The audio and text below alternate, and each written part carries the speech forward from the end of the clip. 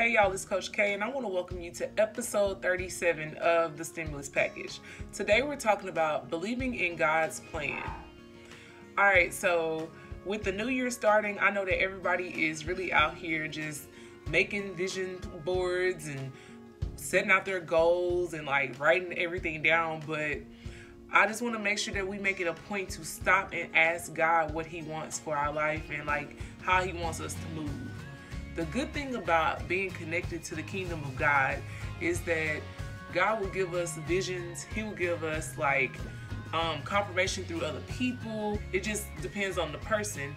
And I think it's amazing how He just always finds the perfect way to speak or the perfect avenue to go down to help us understand what we need to do moving forward. But with that being said, I also understand that when he does speak, everybody doesn't always listen. Sometimes the vision is so big or so vivid that it scares us. And I had to ask myself, why does that happen? Like, why do we get so terrified when we see the plan that God has for our life, especially if He's allowing us to see it? Um, and then I came to the conclusion that it's because we either feel like we're not worthy of that gesture or we're not or we're not in the space where we can fulfill it at that moment. And I think that that scares a lot of people. So this week I want to encourage you and I want to let you know that you're exactly where you're supposed to be and in the space that you're in, God is developing you and helping you to get to the space where you can handle the responsibility of that promise or of that vision. But we also have a responsibility to prepare while we're in the waiting phase and make sure that we are doing everything that we can to enhance our thoughts, enhance our intelligence, enhance our skill set so that we can be prepared for the moment when it comes. So I want to ask y'all think about it. Whenever God speaks to you, do you believe it? Do you believe it as soon as he says it or do you have hesitation?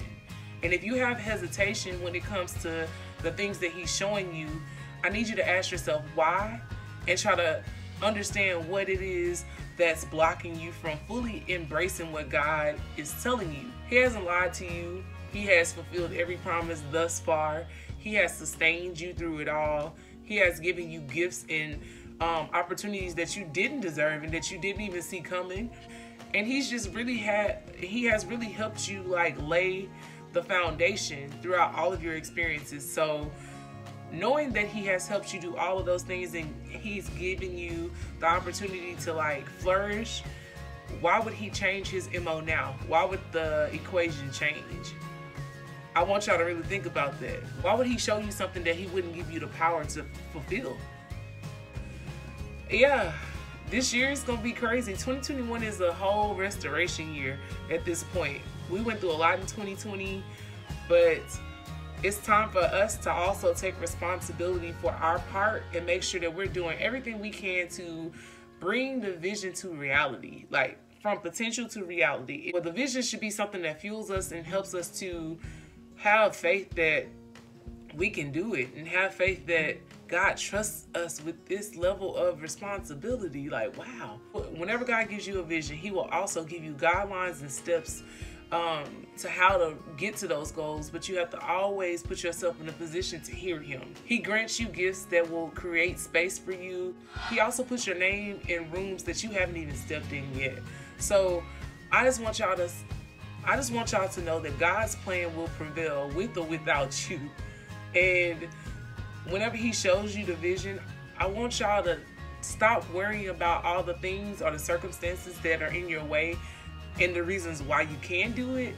And instead, I want you to focus on just believing him without hesitation and moving in that because eventually he's going to show you what you need to do. He's going to show you how to do it and he's going to give you the power and the strength to do it.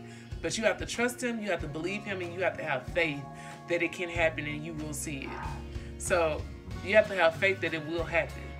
All right, y'all, until next time, stay focused, keep grinding, and respect the process. I'm Coach K. Follow us on all of our social media platforms at Level 27 Coaching and be sure to subscribe to our website at www.level27coaching.com.